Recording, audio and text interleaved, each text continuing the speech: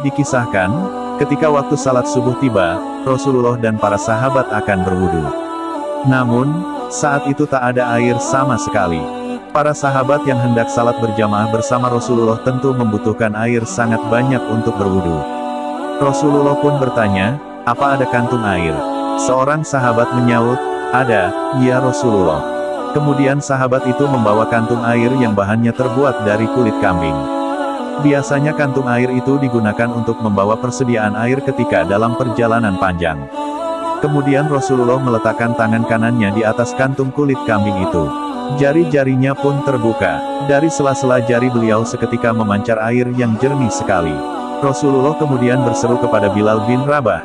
Hai, Bilal, panggil orang-orang itu untuk berwudu.